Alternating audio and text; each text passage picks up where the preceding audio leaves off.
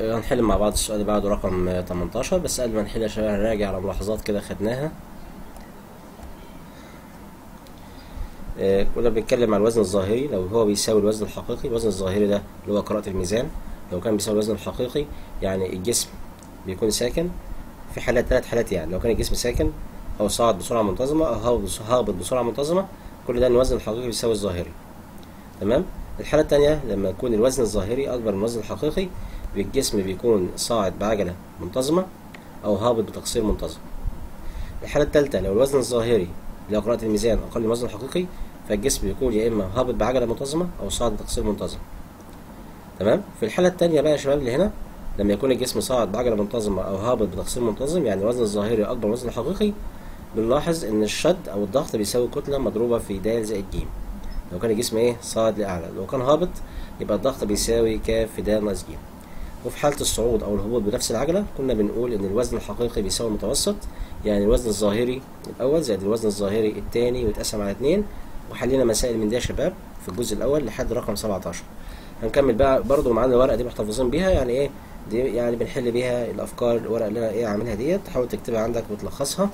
ده تلخيص لإيه؟ للدرس بتاعنا. ده ساعدنا كتير جدا في حل المسائل. نكمل كده إن شاء الله ونحل.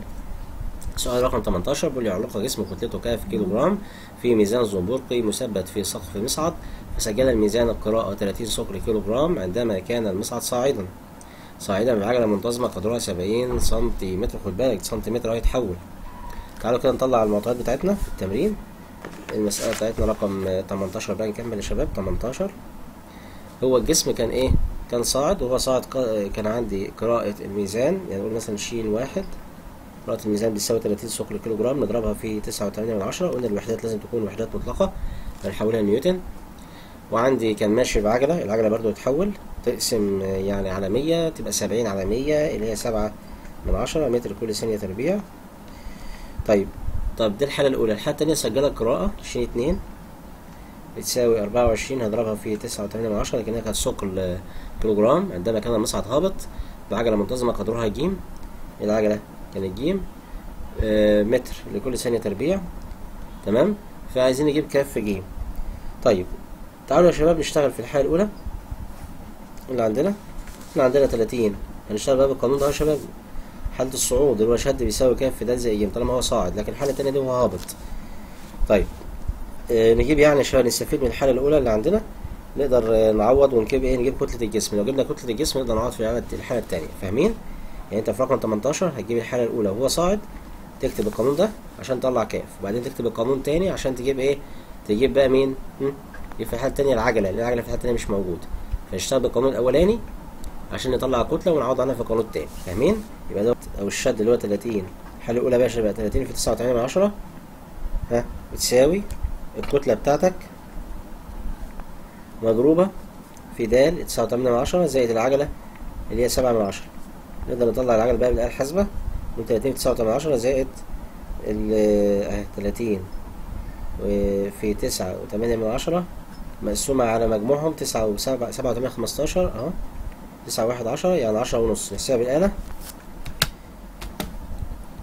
يطلع الناتج معانا. 28 يبقى الكتلة طلعت كام يا أستاذ؟ 28 في الحالة الأولانية. الحالة التانية بقى وهو هابط نقدر ناخد القانون ده. إن الضغط في الحالة التانية اللي هو كان 24 أهو. في 9 وتمانية من عشرة. بيساوي الكتلة كتلة ثابتة. الكتلة كانت كام؟ طلعناها 28 في د اللي هي 9 وتمانية من عشرة زائد العجلة اللي أنت عايز تجيبها. فتضرب دول في بعض وتقسم على 28 واللي يطلع تطرح منه 9 وتمانية من عشرة. طلعت معانا الحاسبة يا شباب واحد وأربعة من عشرة اللي هي العجلة. ضربنا دول في بعض وقسمنا على تمانية وعشرين وطرحنا منها تسعة وإيه وتمانية من عشرة. شوف بقى بعد كده هو طالب إيه في المسألة؟ كمل معايا كده. ده الحل يا شباب ماشي؟ يعني جبنا الكاف وجبنا الجيم. هو عايز إيه في المسألة يا أستاذ؟ ده هو عايز يجمع آه بص كده يضرب يضرب كف جيم يضرب الكتلة في العجلة. الكتلة كانت تمانية وعشرين اضربها بقى في العجلة اللي أنت طلعتها اللي هي واحد وأربعة من عشرة. نشوف الناتج يطلع بكام؟ تمانية وعشرين اهيت. في واحد وأربعة من عشرة يطلع الناتج تلاتة وتلاتين يعني تمانية وعشرين بقى مش أربعة وعشرين مش عاملة تمانية وعشرين تمانية وعشرين في واحد وأربعة من عشرة هيديني الناتج أهو تسعة وتلاتين واتنين من عشرة يبقى الناتج تسعة وتلاتين واتنين من عشرة موجود يا شباب اللي هو الإجابة إيه؟ ج نعلم على رقم ج فهمنا الفكرة؟ يبقى أنت عملت معادلتين المعادلة الأولى طلعت منها كاف والمعادلة التانية عوضت بالكاف هنا عشان تجيب ج وبعدين ضربت كاف في ج بقى وكان عايز يضربهم يعني. طيب السؤال اللي بعده رقم تسعتاشر. بيقول لي إذا وضع جسم على أرضية مصعد متحرك لأعلى بعجلة منتظمة ج متر كل سنة تربيع فكان رد فعل أرضية المصعد هو راء واحد وكان وإذا وضع نفس الجسم على أرضية مصعد متحرك لأعلى بعجلة منتظمة منتظمة اتنين ج متر كل سنة تربيع فكان رد فعل أرضية المصعد هو راء اتنين. فعايزين نشوف مين الأكبر بقى هل رد واحد فعل أول أكبر من التاني ولا بيساويه ولا بيساوي نصه؟ تعالوا كده نحلها. خد بالك في الحالتين هو كان صاعد يعني في رقم تسعتاشر في الحالتين يا شباب. الحالتين بتوعي كانوا صاعد بص كده 19 وضع على الأرضية متحرك لأعلى بعجلة منتظمة. فكان رد فعل أرضية المصعد هو راء واحد. ده كان راء واحد ماشي؟ وكانت العجلة اسمها جيم الحالة التانية بقى وضع نفس الجسم على أرضية المصعد متحرك لأعلى بعجلة اتنين جيم طالما التاني العجلة بتاعته أكبر خلاص يبقى رد الفعل التاني هيبقى أكبر لأن علاقة طردية فاهمين؟ يعني ولا هنحلها تعالوا بص نحلها كده. المسألة بتاعتنا رقم 19 حلها يبقى إزاي؟ هنكتب القانون بس اللي هو القانون ده بتاع الصعود. اللي هو الضغط بيساوي كاف في د زي ج أهو. تمام؟ والحالة التانية الضغط التاني طبعا دي راء واحد بقى ودي راء اتنين عشان ما تلخبطش. ماشي؟ ضغط أو راء عادي يعني اللي بيأثر على الجسم. هنا كاف كتلة زمهية لأن هو نفس الجسم وهنا د زمهية وهنا اتنين ج ها مين الأكبر بقى؟ راء اتنين. يبقى راء اتنين أكبر من إيه؟ من راء واحد. يعني ناخد الاختيار ب راء اتنين أكبر من راء واحد الاختيار ب بتاعي. فهمنا كده يا شباب وإحنا بنحل؟ ده رقم 19 طيب نشوف رقم 20 بيقول لي مصعد كتلته 4 طن يتحرك بسرعة منتظمة. فإذا كان الشد في الحبل الذي يحمله 6 ثقل طن فإن المصعد بداخله جسم كتلته بتساوي نقط طن. لمحت كلمة شايفها؟ كلمة سرعة منتظمة. بص الورقة كده تاني. طالما الجسم اتحرك بسرعة منتظمة بقى منتظمة سواء صاعد أو هابط فالوزن الظاهري بيساوي الوزن الحقيقي. يبقى المسألة بتاعتنا رقم 20 لازم الوزن الظاهري يساوي الحقيقي. يعني الأربعة ديت كتلة المصعد لازم يتضاف عليها إيه؟ اتنين عشان يعود للستة فاهمين يا شباب؟ بص كده رقم عشرين. قلنا الوزن الحقيقي بيساوي الوزن الظاهري. طب انت عندك المصعد كانت كتلته أربعة طن ده أربعة طن ماشي؟ بيتحرك بسرعة منتظمة. فإذا كان الشد في الحبل كتلته ستة طن يعني الثقل ديت ما لناش دعوة بيها بقى كأنها واحد. فأنت عندك الشد اللي فوق ده للمصعد اللي بيشده اللي هو كان الوزن الظاهري كان ستة فلازم الأربعة دي تضاف لها اتنين لأنها بتتحرك بسرعة منتظمة مفيش عجلة أصلا. خلاص؟ فهناخد الاختيار بتاعنا إيه؟ د فهمتوها؟ يا شباب لازم الأربعة دي تضاف لها اتنين عشان ده يكافئ ده لأنه بيتحرك بسرعة منتظمة. وزن الحركة بيساوي الظاهري. تمام؟ طيب رقم واحد وعشرين بيقول لي مصعد يتحرك بداخله ميزان معتاد ذو كفتين وضع في أحدهما فاكهة وزنها تلاتة ثقل كيلو جرام فتعادلت مع صنج كتلته تلاتة كيلو جرام بالكفة الأخرى. فإن المصعد يكون يمكن أن يكون نقط. إحنا قلنا ملاحظة قبل كده يا شباب بالنسبة للميزان المعتاد في الورقة معانا أهي برضو بص كده. في الميزان المعتاد أهو؟ في حالة الميزان المعتاد الوزن الحقيقي بيساوي الوزن الظاهري في أي وضع سواء بقى ساكن متحرك بسرعة منتظمة متحرك بعجلة فقط جميع ما يبقى الإجابة بتاعتي واحد وعشرين هناخد إيه؟ الإجابة د لأن كان إيه ميزان معتاد. الميزان المعتاد بيديك القراءة الحقيقية تحط الكفة وتوزن. فاهمين؟ فالمصعد بيتحرك بداخله الميزان أهو معتاد ذو كفتين. الميزان المعتاد الوزن الحقيقي بيساوي الظاهري يبقى الفاكهة كان وزنها 3 كيلو فتعادلت مع صنج وزنه 3 كيلو. يعني الفاكهة اللي هي إيه وزنها 3 كيلو اتعادلت مع إيه؟ صنج كتلته 3 كيلو. يعني وضعنا شيء هنا وهنا فهم تعادلوا مع بعض. فإن المصعد يمكن أن يكون ممكن يكون ساكن فقط. أو متحرك بسرعة منتظمة أو متحرك لأن ده ميزان معتاد فبيديك الوزن الحقيقي زي الوزن الظاهري. ففي أي حالة يعني من الحالات. خلاص يبقى في حالة الميزان المعتاد الوزن الحقيقي بيساوي الظاهري في أي حالة. طيب السؤال اللي بعده؟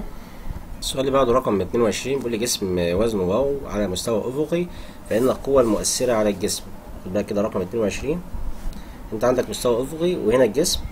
طبعا بيأثر على الجسم يا شباب وزنه ورد فعله. لأعلى لكن الضغط ده بيأثر على المستوى. الضغط ده يا شباب بيأثر على إيه؟ على المستوى. ضاد تؤثر على المستوى الأفقي خد بالك. يبقى اللي بيأثر على الجسم مين؟ الوزن ورد الفعل بس. انت قاعد مثلا على الكرسي أهو ضغطك عليه وفي رد فعل ده مأثر عليك. تمام؟ يبقى وزنك لأسفل ورد فعل الكرسي عليك. يبقى الوزن ورد الفعل لكن الضغط ده بيبقى الضغط على المستوى. انت قاعد بتضغط على إيه؟ على الكرسي اللي قاعد عليه ضغط. بيأثر على إيه؟ على المستوى. تمام؟ لكن الجسم الموضوع ها بيحفظوا مين؟ وزن ورد فعل بيكافئوا بعض وزن الأسفل ورد الفعل إيه؟ لأعلى. يبقى جسم وزنه واو على مستوى أفقي فإن القوة المؤثرة على الجسم قوة مين؟ قوة الوزن ورد الفعل. لكن الضغط ده بيأثر على المستوى يبقى ناخد مين؟ الواو والراء. دي الإجابة جيم. واو وراء. طيب السؤال اللي بعده رقم 23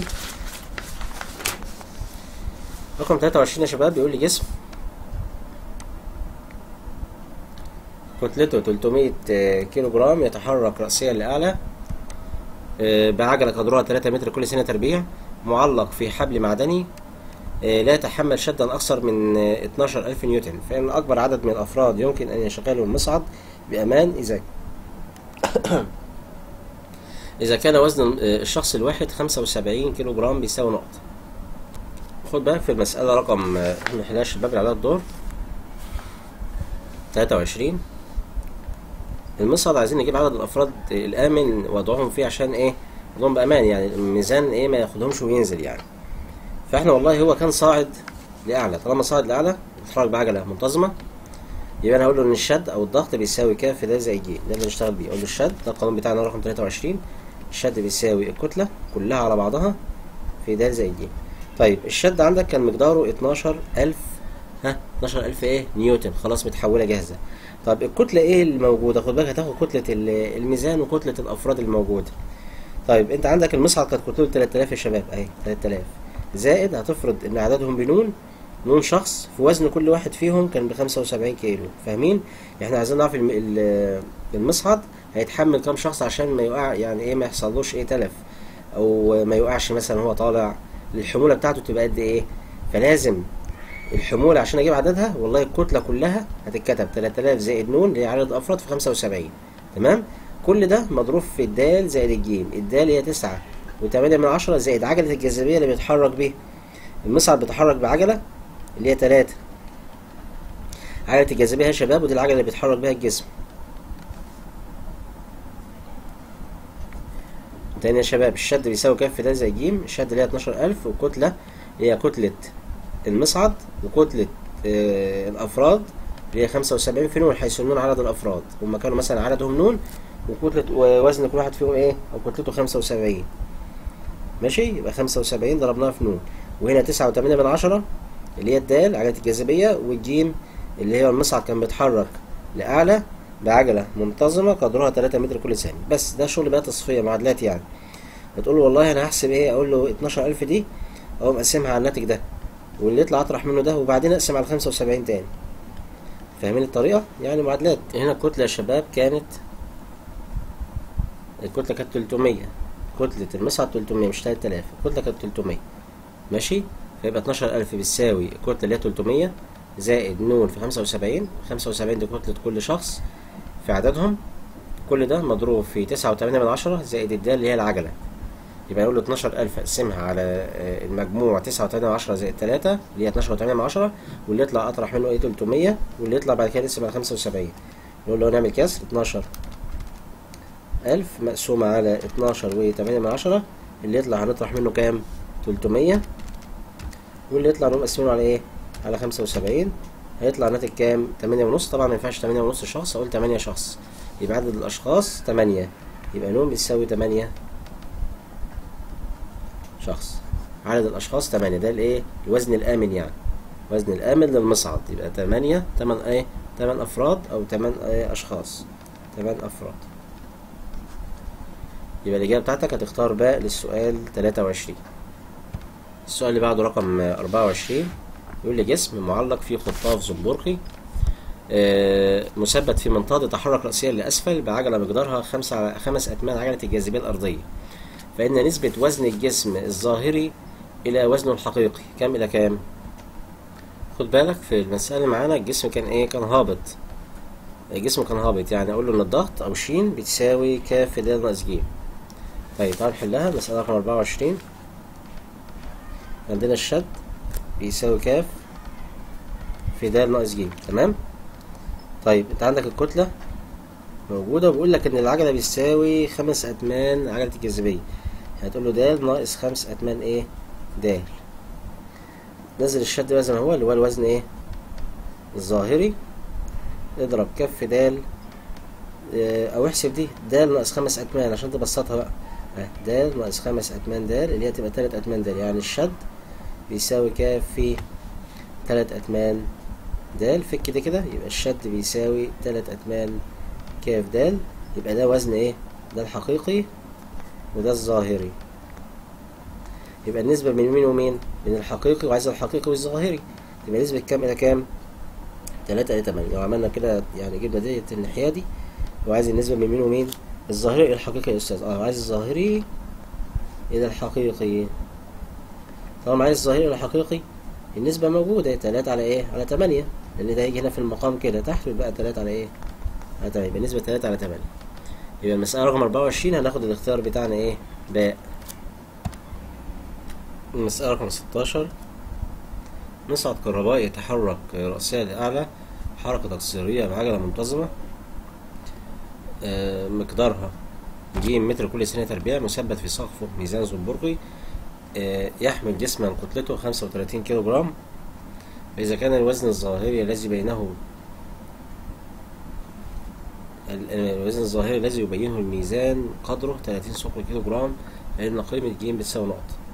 نرجع بقى الورقة بتاعتنا يا شباب أهو المصعد يتحرك لأعلى بتقصير حركة تقصيرية بعجلة منتظمة مقدارها ج تمام؟ عندك الشين بتساوي كاف في ده زي أجيب لي القانون اللي هنستخدمه إن أنت عندك المصعد يتحرك رأسيا لأعلى حركة تقصيرية بإيه؟ بعجلة. منتظمة قدرها ج متر كل ثانية تربيع مثبت آه، في سقفه ميزان زنبرقي يحمل جسم كتلته خمسة وتلاتين كيلو جرام فإذا كان الوزن الظاهري الذي يبينه الميزان قدره 30 ثقل كيلو جرام في النجيم. هنا العجلة هنعوض عنها بس هتبقى بالسالب لأن هنا إيه؟ العجلة كانت تقصيرية. بتتحرك خد بالك خد بالك. بتتحرك لإيه؟ لأعلى حركة تقصيرية بعجلة منتظمة. العجلة كانت منتظمة افهم الكلام. الجسم كان صاعد بعجلة إيه؟ منتظمة بس العجلة كانت إيه؟ تقصيرية عجلة سالب يعني تستخدم القانون ده بس العجلة تعوض عنها بالسالب. فاهمين؟ يبقى تاني يا شباب هو الجسم هنا كان صاعد لأعلى بعجلة إيه؟ منتظمة. هو اللي قالك أهو الجسم تحرك لأعلى بعجلة منتظمة قدرها ج بس حركة تقصيرية. طالما حركة حركة تقصيرية عن العجلة للسالب. المسألة بتاعتنا رقم خمسة وعشرين. نقول له رد الفعل. يساوي كاف في د زائد ج ماشي؟ عندك الكتلة كانت موجودة خمسة وتلاتين والعجلة تسعة وتمانية من عشرة وهنا العجلة تبقى زائد إيه سالب ج زي ما إحنا قلنا رد الفعل عندك يبقى الوزن الظاهري الوزن الظاهري يا شباب قال لك 30 ثقل كيلو جرام يبقى 30 دي هنضربها في كام؟ في تسعة وتمانية من عشرة تمام؟ نحسب بقى الناتج نقول 30 في تسعة وتمانية من عشرة وبعدين نقسم على خمسة واللي يطلع نطرح منه تسعة وتمانية من عشرة أول جيم توديها الناحية التانية بعكس الإشارة 30 في تسعة وتمانية من عشرة. على خمسة وتلاتين بتساوي تسعة وتمانية من عشرة ناقص ج يعني العجلة بتساوي تسعة وتمانية من عشرة ناقص التلاتين في تسعة وتمانية من عشرة على خمسة وتلاتين. خلاص كده نعملها على الآلة نقول له تسعة وتمانية من عشرة ناقص نعمل كسر نقول له تلاتين في تسعة وتمانية من عشرة على الخمسة وتلاتين. يطلع الناتج سبعة على خمسة اللي هو واحد وأربعة من عشرة. خلاص يا شباب؟ العجلة تطلع واحد وأربعة من عشرة متر كل ثانية تربيع. تختار الإجابة بتاعتك رقم باء للسؤال خمسة وعشرين. سؤال ستة وعشرين بيقول صندوق كتلته سبعين كيلو جرام موضوع على الأرض مصعد. كتلته كانت ستمائة وتلاتين كيلو جرام آه، فإذا تحرك المصعد لأسفل بعجلة منتظمة قدرها واحد وأربعة من عشرة متر كل ثانية تربيع فإن مقدار الشد في حبل المصعد بثقل الكيلو جرام بيساوي نقط. رقم ستة وعشرين.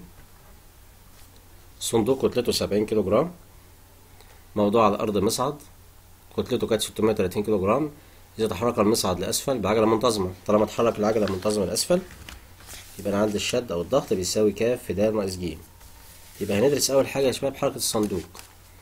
يبقى أقول له هنا فإذا كان بيقول فإذا كان الوزن الظاهري الذي يبينه الميزان قدره 30 ثقل كيلو جرام فعايزين نجيب قيمة ج يعني إحنا هنعمل معادلتين يا شباب. المعادلة الأولى هندرس فيها حركة الصندوق والحالة التانية هندرس فيها حركة المصعد. تمام؟ نعمل معادلتين يعني ونحلهم مع بعض عشان نجيب إيه؟ قوة الشد في حبل إيه؟ المصعد اللي عندي. لأنه عايز إيه في المسألة؟ عايز آه، في التمرين عايز مقدار الشد في حبل المصعد. طيب حاول بس تركز معايا كده في 26 أول حاجة إحنا قلنا استفدنا يعني من الورق اللي معانا ده أهو. طالما هو قال لك آه، يتحرك رأسيا يتحرك آه، هو ده رقم 26 احددها حدد 26 يا شباب. الصندوق كتلته كانت 70 كيلو جرام على الأرض مصعد كتلته كانت 630 إذا تحرك المصعد لأسفل بعجلة منتظمة. أهو. حرك المصعد بعجلة إيه؟ منتظمة لأسفل. وخد بالك الصندوق كتلته كتلته 70 كيلو جرام. وعندك موضوع على الأرض المصعد كتلته كتلته 630 كيلو جرام. حرك لأسفل. يعني عندنا الوزن الظاهري أكبر من الوزن إيه؟ الحقيقي. فهناخد الايه القانون ده نشتغل بيه. يبقى أول حاجة في المسألة 26 لما نيجي نشتغل هنقول بدراسة. حركة الصندوق. هندرس الأول الحركة بتاعت إيه؟ الصندوق. هذا الصندوق أهو في رد فعل. وهنا الوزن اللي هو كاف في دال طيب الحركة كانت إيه؟ لأسفل طالما الحركة لأسفل يا شباب يبقى أنا هشتغل بالقانون اللي هو ضاد أو راء بتساوي كاف في دال ناقص جيم. الكتلة للصندوق كانت كام؟ كانت سبعين. والعجلة تسعة وتمانية من عشرة. والجيم كانت واحد مية وأربعين إيه؟ واحد وأربعة من عشرة متر أهي. جاهزة. يعني تقولك واحد وأربعة من عشرة متر. وبالتالي رد الفعل بيساوي هنحسبها على الآلة الحاسبة يطلع الناتج بالنيوتن بص كده نحسبها سبعين في تسعة. وتمانية من عشرة ناقص واحد وأربعة من عشرة. هيطلع الناتج خمسمية تمانية وتمانين نيوتن. تمام؟ ممكن نحوله للثقل كيلو جرام إن إحنا نقسم على تسعة وتمانية من عشرة. تطلع ستين. ستين إيه؟ ثقل كيلو جرام يبقى أنت جبت رد الفعل وبالتالي أقول له إذا مقدار ضغط الصندوق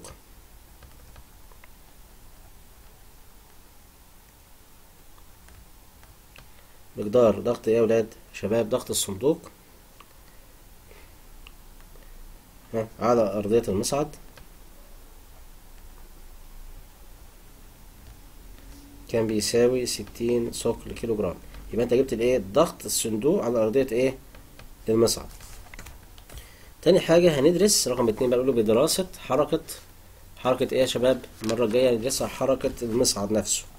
أقول له هنا بدراسة حركة المصعد. بدراسة حركة المصعد. يبقى أنت هتدرس حركة مين؟ الصندوق وحركة المصعد. طب المصعد كتلته؟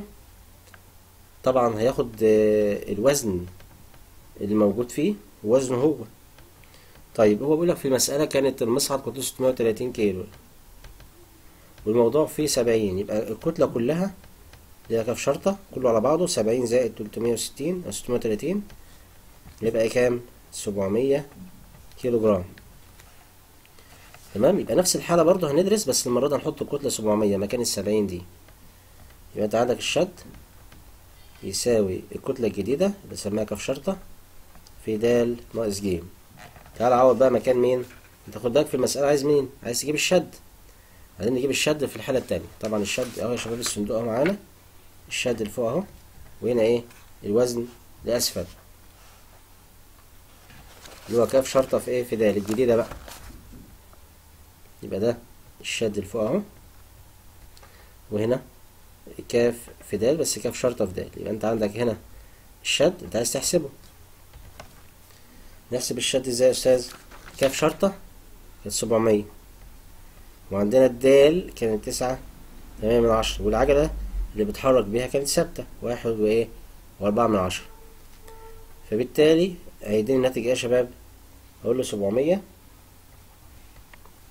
في الفرق بينهم تمانية ناقص أربعة أربعة وتسعة ناقص واحد بتمانية. هو عايز إيه يا شباب؟ عايز مقدار الشد في الحبل فقط. تمام يعني ده اللي إحنا عايزينه. لكن هنا كنا بنجيب مقدار ضغط الصندوق على أرضية إيه؟ المصعد. يبقى في حالتين عندك درسناهم. دراسة حركة الصندوق درسناها ودراسة حركة إيه؟ المصعد. لأنه عايز مقدار الشد في حبل المصعد. بقول له سبعمية. في تمانية. وأربعة من عشرة يطلع الناتج كام؟ 5880 نيوتن هنحولها بقى للثقل شوفوا عايزة في الاختيارات إيه. بالثقل تقوم قاسم على كام؟ على تسعة وتمانين من عشرة. يطلع ناتج ستمية يبقى تاني يا شباب لو كان طالب مني ضغط الصندوق على أرضية المصعد كنت هشتغل بالكتلة بتاعت مين؟ بتاعت الصندوق. لكن لو عايز الحركة أو الشد للمصعد كله باللي فيه مقدار الشد حد المصعد يعني الكتلة كلها على بعضها فتحطها هنا بس وتعوضها. فهمنا؟ لأن الصندوق كان بيتحرك إيه؟ المصعد بيتحرك لأسفل بعجلة منتظمة. يبقى ستة وعشرين الإجابة بتاعتك هتبقى إيه؟ ستمية اللي هي الإجابة باء هقولها تاني يا شباب رقم ستة وعشرين حليناها إزاي؟ إحنا حلينا ستة وعشرين بطريقتين عشان لو كان طلب منك بدل دي هي دي لأن دي جاية في كتاب المعاصر مسألة زي دي طالب منها إيه؟ جزئين. يعني لو يجيب لك كذا يا كذا. فهو مثلا لو كان طالب حركة الصندوق ودراسة حركة الصندوق اللي عندك إن أنت تجيب المصعد كلها لقينا إن الشد بيساوي 600 ثقل كيلو جرام في الحالة التانية لما جينا نجيب الشد خدنا الكتلة كلها على بعضها كتلة الصندوق وكتلة المصعد جمعناهم فاداك 700 وضربتها فين؟ في د ناقص ج لكن لو كان طالب منك ضغط الصندوق على ضغط المصعد كنت هتاخد السبعين بس انت عندك الحلين اهم ده حل مين؟ الحل الأولاني ضغط الصندوق على ارضية المصعد والحل التاني اللي هو إيه؟ دراسة حركة المصعد عشان تجيب الشد للك... للموضوع كله. الصندوق اللي جواه. الصندوق المصعد بالصندوق اللي جواه. تمام كده؟ فناخد الإجابة بقى. طيب السؤال اللي بعده رقم سبعة وعشرين بيقول لي جسم. كتلته خمسة وتلاتين كيلو جرام موضوع على ميزان ضغط مثبت في أرضية مصعد يتحرك بسرعة أربعة متر كل ثانية. وكانت قراءة الميزان تلتمية تلاتة وأربعين نيوتن فإن المسافة التي يقطعها المصعد في سبع ثواني. مسألة سبعة وعشرين يا شباب تعالوا نقارن بين الوزن الحقيقي والوزن الظاهري زي ما اتفقنا في أي مسألة تجيلنا يعني المسألة بتاعتنا اللي هي سبعة وعشرين دي شايفها؟ هو بيقول لي جسم كتلته خمسة وتلاتين كيلو جرام موضوع على ميزان ضغط مثبت على أرضية مصعد يتحرك بسرعة قدرها أربعة متر كل ثانية وكانت قراءة الميزان تلتمية تلاتة وأربعين نيوتن. فإن المسافة التي يقطعها المصعد في سبع ثواني خد بالك. إحنا قلنا لو واو شرطة بتساوي واو يعني الجسم ساكن يعني يتحرك بإيه؟ صاعد يعني جسم في ثلاث حالات يعني جسم يكون ساكن أو صاعد بسرعة منتظمة أو هابط بسرعة منتظمة فاهمين؟ فإحنا هنقارن الأول بين قراءة الميزان وإيه؟ والوزن الظاهري يعني الواو شرطة عشان نشوف أنا حالة من التلاتة ما جايز دول يساووا بعض وبعدين أصلا هو عايز المسافة المسافة دي هتيجي نجيبها إزاي أصلا؟ هنجيبها لما يبقى يتحرك بإيه؟ بسرعة منتظمة وتبقى العجلة بتساوي صفر يعني فيها تساوي عين في نون يعني فاهمين؟ طيب تعالوا بس كده نفكر كده في المسألة سبعة وعشرين مع بعض؟ سبعة وعشرين أهي. هو كتلته خمسة وتلاتين يبقى هنجيب بكف د أقول له كام؟ خمسة وتلاتين في تسعة وتمانية من عشرة ده الوزن بتاعه يعني. هنضرب خمسة وتلاتين في تسعة وتمانية من عشرة بالآلة اهوت ونشوف خمسة وتلاتين في تسعة وتمانية من عشرة دي تلتمية تلاتة وأربعين نيوتن. لاحظ إن 343 دي الواو شرطة برضه قال لك الواو شرطة ب 343 إيه؟ نيوتن. يعني واو شرطة بتساوي واو. طالما واو شرطة بتساوي واو يعني الجسم بيتحرك بسرعة إيه؟ منتظمة. يعني العجلة بصفر. يعني المسافة هتساوي عين في نون فيه بتساوي عين في نون يا أستاذ أهي. طالما فيه بتساوي عين في نون نقدر نجيب المسافه بقى لك زمن إيه؟ سبع ثواني. وكان بيتحرك بسرعة قدرها كام؟ أربعة. يبقى المسافة بتساوي 28 متر. يبقى الإجابة بتاعتك هتاخد إجابة ج شفت المسألة جت اتحلت إزاي؟ يبقى أنت لازم تقارن في أي مسألة جدك بين الوزن الحقيقي والوزن إيه؟ الظاهري. طلعوا زي بعض خلاص يبقى بتحرك إيه؟ بسرعة منتظمة. طبعا بتحرك بسرعة منتظمة يعني العجلة بصفر يعني فيها بتساوي عين في نون. أهي. تمام؟ شوف التمرين اللي بعده رقم 28 بيقول لي مصعد كهربائي كتلته بما فيه 800 كيلو جرام يهبط بسرعة ابتدائية 210 سنتيمتر. فإذا كان مقدار الشد في الحبل الذي يحمله لا يزيد عن 1200 ثقل كيلو جرام فإن أصغر مسافة يتحركها المصعد حتى يقف. تساوي قد إيه؟ كام سنتي؟ نرجع للورقة بتاعتنا تاني. أهو. المصعد كتلته كانت 800 ويهبط بسرعة ابتدائية مقدارها 210 سنتيمتر. فإذا كان مقدار الشد في الحبل لا يزيد عن 1200 فإن المسافة أصغر مسافة يتحرك بها خد بالك هو يهبط بسرعة. فين؟ ها؟ الجسم.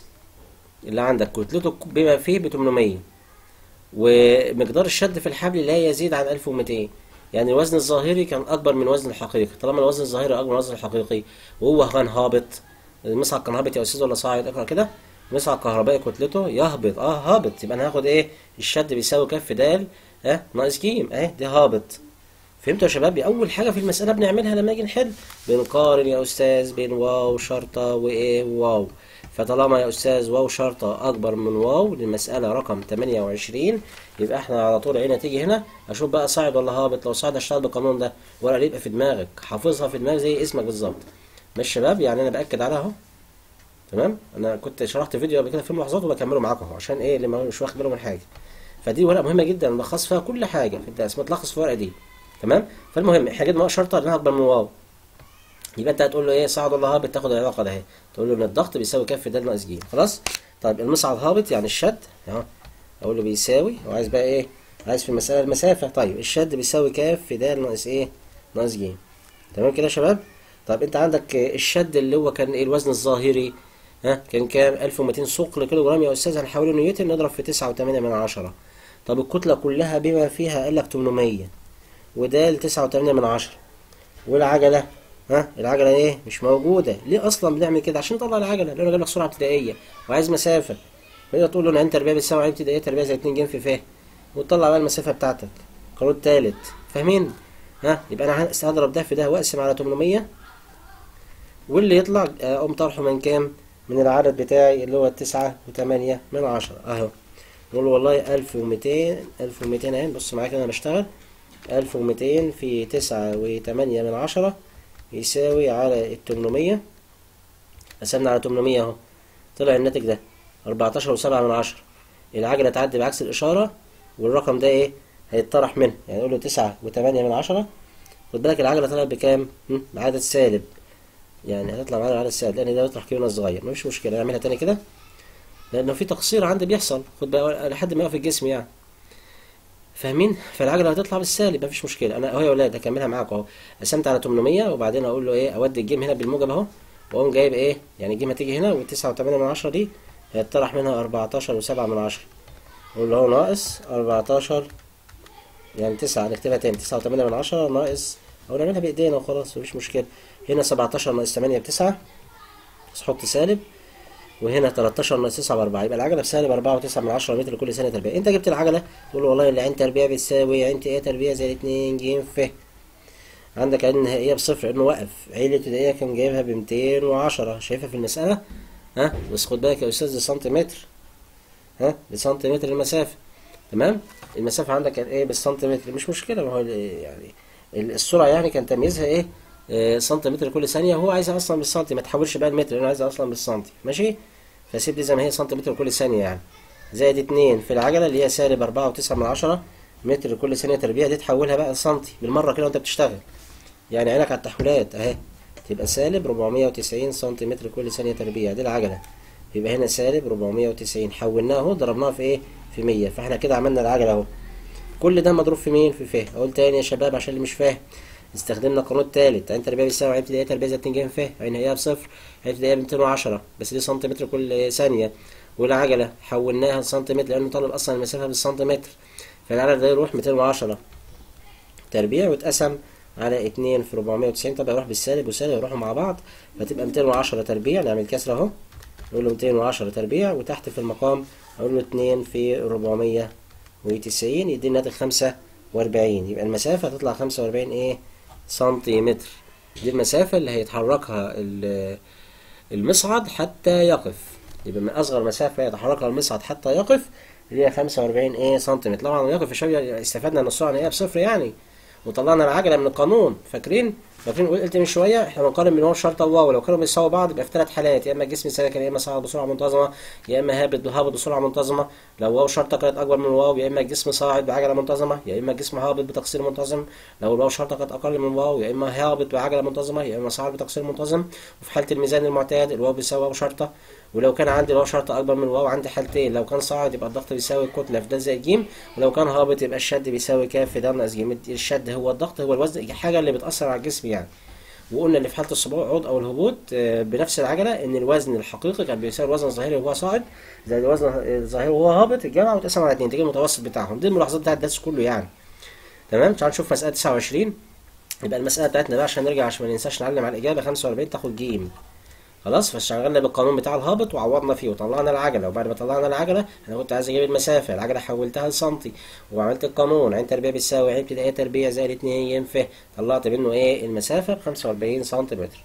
السؤال 29 مصعد بدا مصعد بداخله سيدة كتلتها 63 كيلو جرام تحمل على كتفيها طفلا كتلته 7 كيلو جرام تحرك المصعد رأسيا لأعلى بعجلة مقدارها 245 سنتيمتر كل ثانية تربيع فإن ضغط الطفل على كتف السيدة بيساوي نقط ثقل بالنا تاني يا شباب الورقة معانا أهو.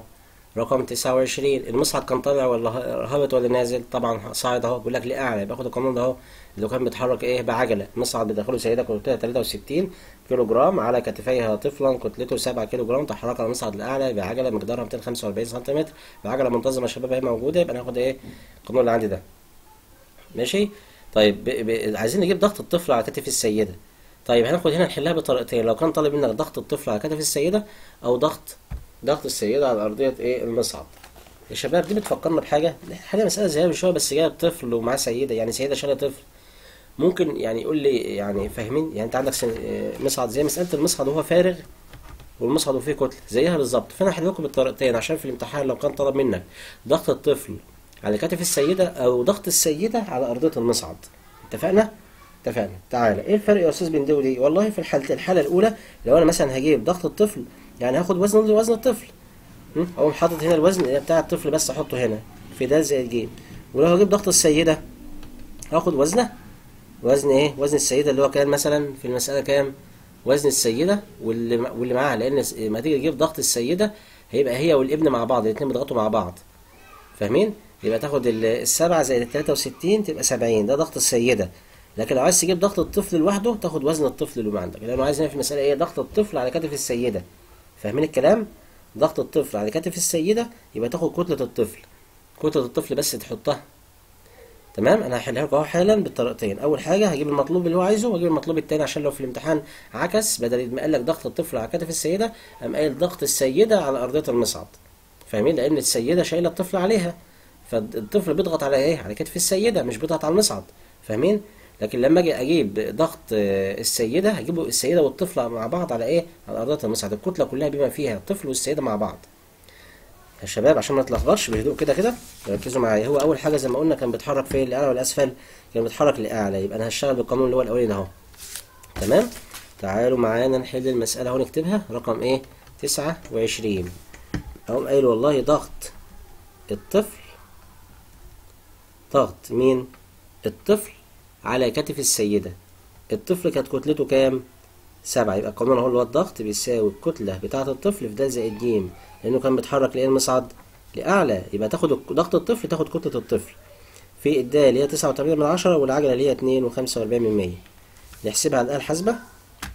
تطلع معانا. خمسة وتمانين وخمسة وسبعين من مية نيوتن. نحولها للثقل كيلو جرام نقسم على تسعة وتمانية من عشرة.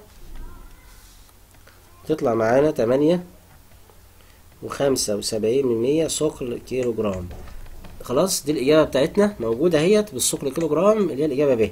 طب يا أستاذ لو كان عايز ضغط السيدة على أرضية المصعد على أرضية المصعد أنا هجيبها لكم بالمرة عشان لو في الامتحان ما يخافش ما جابش ضغط الطفل جاب لك ضغط السيدة على أرضية المصعد.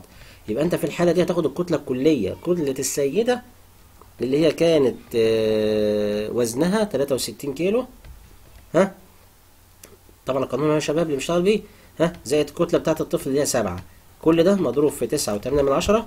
زائد العجلة اللي هي اتنين وخمسة وأربعين من مية تحسبهم بقى تبقى هنا سبعين وهنا تجمع حط صفر خمسة تمانية وأربعة اتناشر عشرة واتنين اتناشر. يبقى سبعين في اتناشر وربع وتطلع الناتج. سبعين في اتناشر وربع. سبعين في اتناشر وربع. طلع معانا الناتج تمنمية سبعة وخمسين ونص. أهو. تمنمية.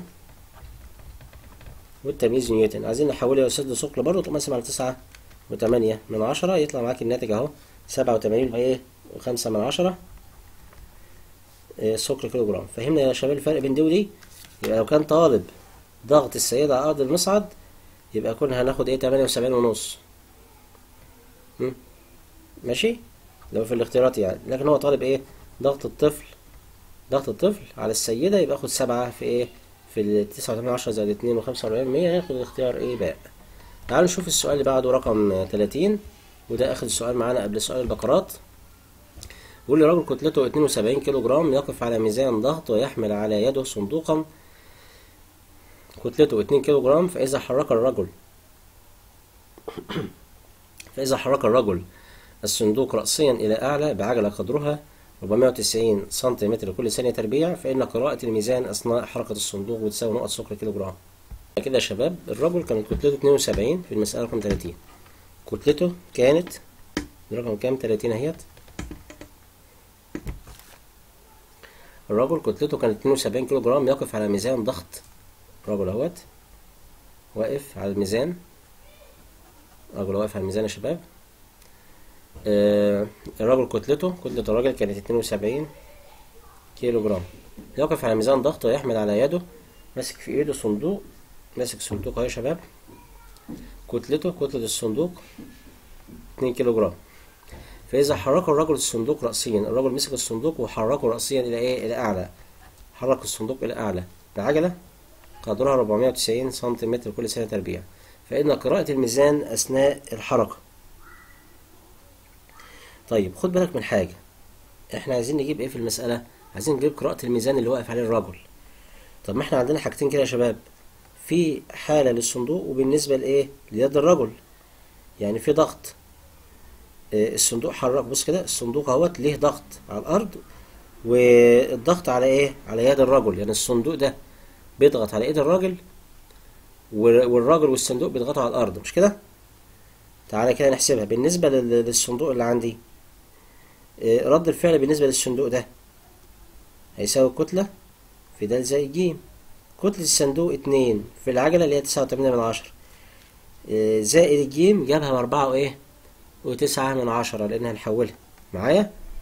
يبقى تاني يا شباب تاني كده المسألة. رجل كتلته اتنين وسبعين كيلو جرام يقف على ميزان ضغط الراجل واقف على الميزان اهو وماسك في ايده صندوق كتلته 2 كيلو. فإذا حرك الرجل الصندوق رأسيا يعني الراجل كان واقف ثابت في مكانه وحرك الصندوق رأسيا إلى أعلى بعجلة مقدارها 490 عايزين نجيب قراءة الميزان بقى اللي عندي ده. هيبقى عندي حالتين. أول حاجة بالنسبة للصندوق هنجيب رد الفعل الوزن الظاهري للصندوق. أو الكاف ده زي لأنه بيتحرك لإيه؟ لأعلى. طالما بيتحرك لأعلى يبقى ناخد بقى أدرس الصندوق لوحده. أقول له 2 مضروبة. في 9 من عشرة زائد 4 و9 من عشرة. نحسبها كده ونطلع الناتج. اتنين في تسعة وتمانية سبعتاشر عشرة وأربعة أربعتاشر اتنين في سبعة بأربعتاشر اتنين في أربعة وتمانية واحد تسعة يعني تسعة وعشرين وأربعة من عشرة نيوتن. ده رد فعل إيه؟ رد فعل الصندوق.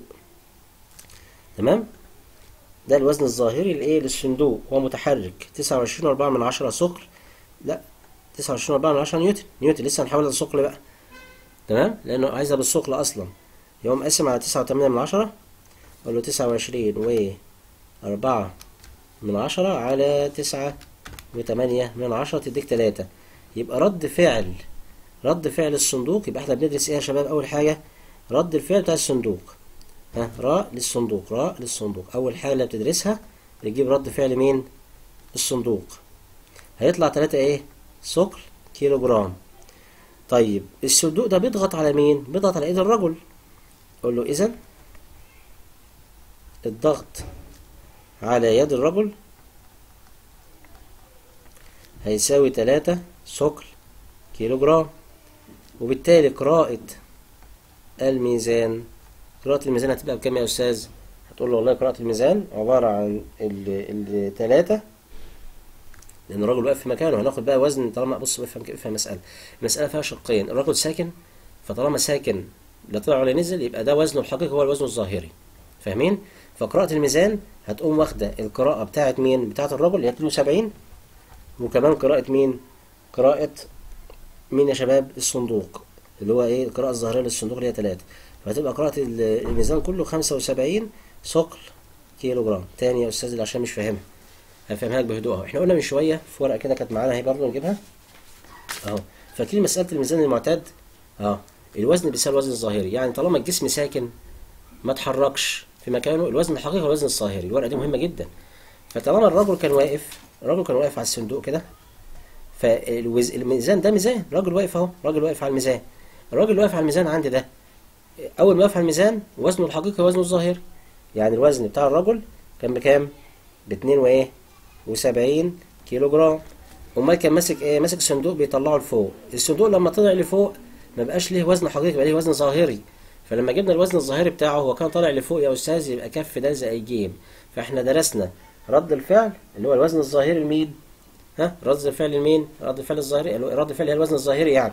جبنا الوزن الظاهري لمين؟ للصندوق. فقلنا كف ده زي جيم اللي هي 2 هي كتلة الصندوق في 9.8 من 10 زي 4.7 من 10 شباب إحنا بندرس حالتين. الرجل هو ساكن في مكانه ما اتحركش. يبقى الميزان الميزان ده يا شباب ميزان حاجة بنوزن عليها راجل وشايل الصندوق بس الصندوق بإيه؟ بيرفعه لفوق. وهو بيرفع الصندوق لفوق في وزن ظاهري حصل للصندوق. الوزن الظاهري إيه بقى 3 كيلو 3 سكر كيلو جرام اللي هي 3 كيلو يعني. تمام؟ فتبقى قراءة الميزان إيه؟ الميزان أول ما الراجل يقف عليه هيبقى وزنه 72 والصندوق مش هيبقى بقى كتلته 2 الصندوق كانت كتلته 2 بس هيبقى وزنه هو بيتحرك لفوق ها؟ هيتحرك لفوق يا أستاذ هيبقى كف د زائد ج يعني تبقى 2 مضروبه في 9.8 من 10 زائد 4.9 من 10 يطلع بإيه؟ ب 29.4 من 10 نيوتن يعني 3 ثقل كيلو جرام أتمنى تكونوا فهمتوا المسألة أوضحها تاني يا شباب. ها الراجل عشان ساكن فلما يقف على الميزان معهوش حاجة خالص يبقى وزن هيبص للميزان يلاقي القراءة 72 لكن مسك صندوق في إيده وبيرفعه فالصندوق وهو بيرفعه وزنه اتغير بقى وزنه إيه؟ 3 ثقل كيلو جرام جبناها إزاي؟ قلنا كاف ده زائد ج كتلته اللي هي ب 2 في 9.8 من 10 زائد 4.9 من 10 طلعت الكتلة بالنيوتن حولناها للثقل كيلو جرام قسمنا 9.8 من 10 طلعت مين؟ ها طلعت قراءة الصندوق. يبقى الميزان هيبقى القراءة عليه بقى إيه؟ قراءة الرجل وهو ساكن والصندوق اللي اتحرك اللي هو 3 بقت كله بكام؟ ب 75 يبقى الإجابة د كده إحنا خلصنا المسائل. هم كانوا 30 مسألة. نشوف إن شاء الله المرة الجاية مسائل على البقرات. أتمنى تكونوا فهمتوا يا شباب وربنا يوفقكم دايما. والسلام عليكم ورحمة الله وبركاته. وإن كان في خطأ أو نسيان أو سهو فاعذرونا وربنا يوفقكم دايما. أتمنى تكونوا فهمتوا والسلام عليكم ورحمة الله وبركاته.